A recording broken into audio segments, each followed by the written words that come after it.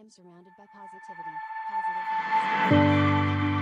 Waiting for the changing pleasure and pain, summer and rain. Waiting for that moment takes you by surprise.